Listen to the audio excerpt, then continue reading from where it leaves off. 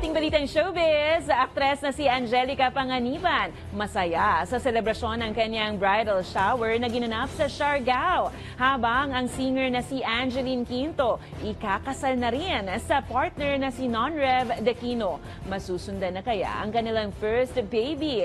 Alamin natin ang chika sa balitang ito z Showbiz ni Lane Garcia. Very angelic talaga ang look ng tinuguri ang bida na kontrabida actress ng Philippine Television at celebrity mom na si Angelica Panganiban sa kanyang nakaraang bridal shower na ginanap sa Siargao. Handog ito ng celebrity doctor na si Ivy Teo na may pa-facial treatment pa para sa mga invited guests.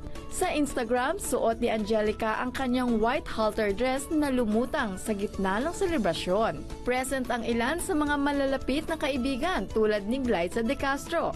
Paghahanda ito para sa nalalapit na second wedding nila ng kanyang asawang si Greg Homan. Matatanda ang unang kinasal sina Angelica at Greg noong December 31, 2023 sa California, USA. Masayang masaya naman ang couple dahil sa cute na cute na kanilang baby girl na si Bean.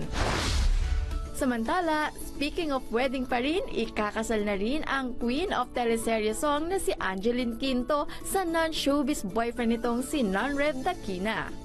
Imbitado sa kanilang kasal si Mayor Hani Lacuna at ilan sa mga big boss ng Kapamilya Network.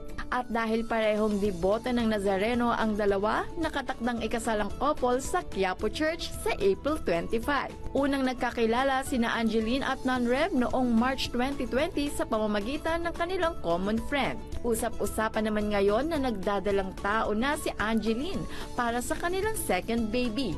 Pero wala pa namang kumpirmasyon ang kapamilya singer patungkol dito.